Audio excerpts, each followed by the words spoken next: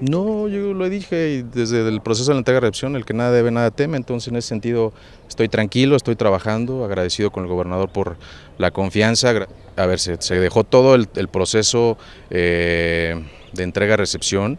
Digo, lo único que me puede llamar la atención es que después de ocho meses salga este, este tema cuando se da cierto, cierto tiempo para revisar el proceso de la entrega-recepción. No he recibido tampoco una notificación oficial ni un tema de denuncia. Tengo entendido que sí se presentó